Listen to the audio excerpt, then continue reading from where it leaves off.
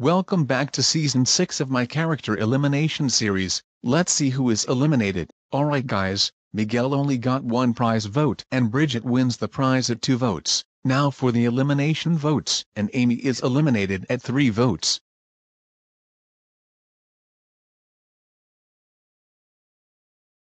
Today's challenge is to play football. Well it looks like Team 1 lost, which means they're up for elimination. Vote one person to be eliminated and for one to win the prize. Voting ends February 11th at 8 p.m. Mountain Time.